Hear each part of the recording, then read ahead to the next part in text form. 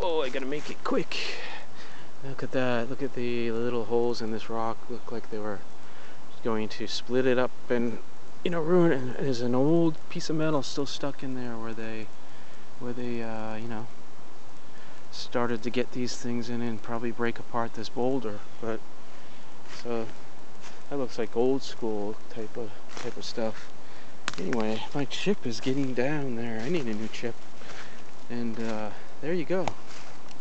Let's see where they were trying to, uh, um, you know, split this boulder up and break it down. But uh, they stopped in the middle of it. And, uh, alright, there you go. The boulder has been saved.